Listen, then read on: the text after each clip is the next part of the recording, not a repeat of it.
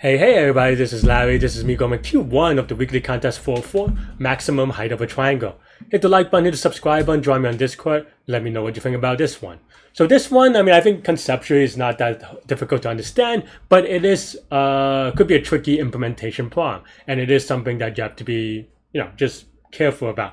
And of course, having said that, I did not. I had two wrong answers and they're inexcusable. I could have written it like I mean, the thing is, right? Like, if you, just as a retrospective, like I'd rather have written very ugly code and did not have two wrong answers than writing very clean code but did have two wrong answers, and basically that's what happened. I tried to um, prematurely write it in a clean way, but I had an off by one error, um, and the other thing is that it, it was just a little bit unlucky, and I'll show you why in a second. But I was a little bit unlucky in the sense that I had two off by one errors and they cancel each other out to be perfectly correct for the inputs, which is, you know, some days it is just sad. And then the second time, I just kind of, I think sometimes you have to, that's why I always talk about controlling your emotions and stuff like that, is that um, I probably was like just rushing. I was like, oh man, Larry, you already got wrong answers. Just finish it and go.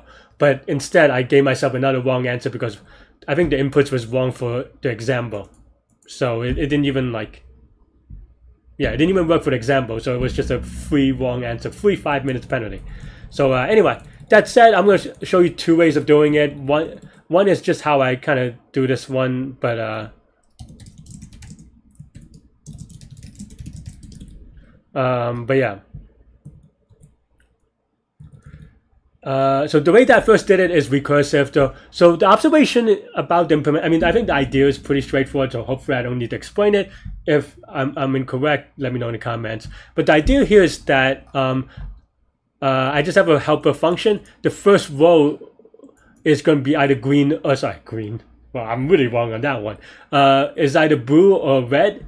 And basically, this is the idea that I have is that, okay, assume that the next A is going to be the next color that we use, B is the second color, and current is the level, then this is basically the recurrence, right?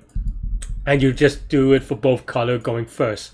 So yeah, so A is the next color to be used, B is the um, next next color to be used, and current is the current level, which is also the, the requirement for this row, right? So that's basically the idea. So I don't know. I I unfortunately, I mean, hopefully this makes sense, just recursion, right? So if we have enough, then we we go to it, um, and then we just increase the level, and we move B up, uh, and then we yeah. Otherwise, we return zero because then we're done, uh, and you also increase one for the level, and this one, I suppose. But uh, but yeah. Um, so the, my, my wrong answer is because I had this and I had these as zeros because it, I guess recursion is always natural to think of zeros and zero indexing, but I didn't. I just didn't think about it honestly. I I was rushing it and I didn't think about the edge cases, and this is what happened.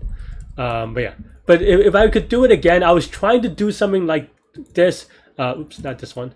Uh, hmm. I was trying to do something like this during the contest, but I just Uh, I, I rewrote it uh, with a while loop. Uh, I was trying to do something like this during the contest, but I think I just confused myself. But it is just having a while loop. Uh, um, I think the the missing part that I have is just missing this particular part, and that is why. Uh, like I, I was trying to figure out how to do the swap, but my head was just not warmed up for this problem because it is the first problem of the contest. Uh, but yeah, basically for this is the current level. If we can add to the next level, which has a um, requirement of current plus one, we subtract it um, we increment and then we swapped A as the next thing to be used. I was thinking of using something like queue, and I, but I was like, nah, you don't. Why are you using a queue? But uh, looking back, I wish I did it with a queue because not not this way, but like versus here and getting two wrong answers because at least I wouldn't. You know, the code, like I said, would have been really ugly, but at least it would have been right. So I, I don't know. I feel very dumb uh, with this one. But anyway, um, that's pretty much all I have for this one. Uh, yeah. So what is the complexity of this, right? Um, the idea here is that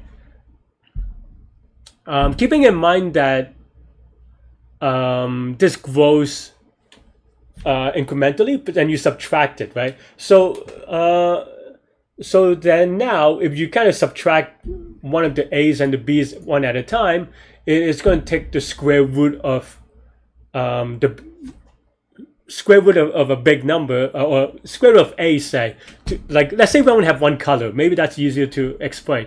Let's say we only have one color then if you kind of sum up the the uh, height of the triangle it is going to be 1 plus 2 plus 3 plus 4 dot dot dot and it's going to be n squared to reach n.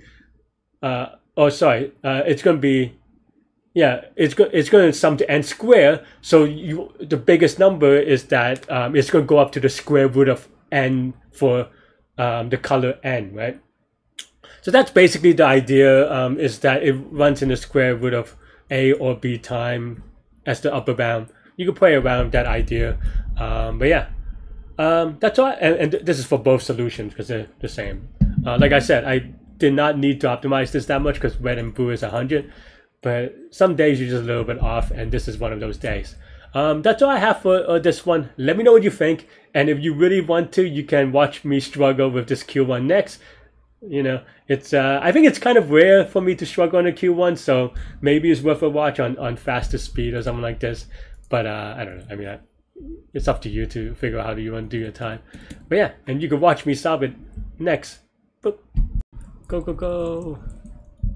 Double problem again? Is it a real double problem? Who knows?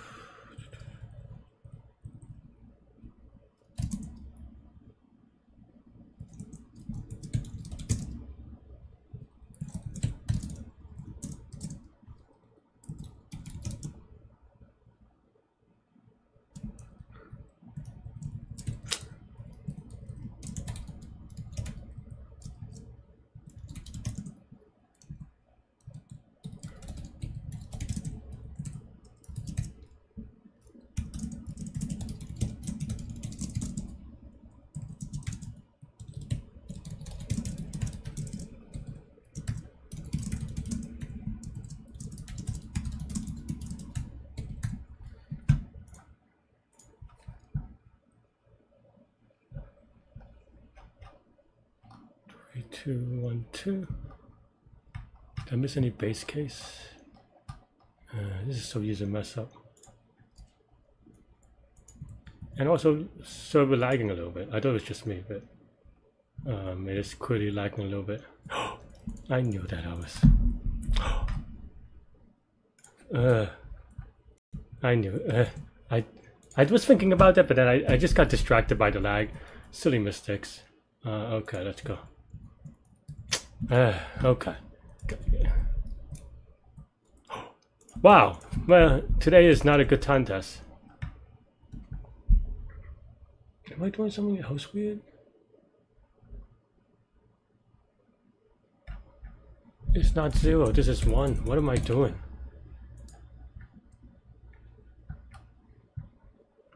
Two, four, and this is actually example one, I think, yeah. So, I am just try I'm, I'm rushing too much. Yeah. Uh, well, already not a good contest, but uh, I, I just watched. Thanks for watching, everybody. Hit the like button, hit the subscribe button, join me on Discord. Let me know what you think about this contest. Stay good, stay healthy to good mental health. I'll see y'all later and take care. Bye bye.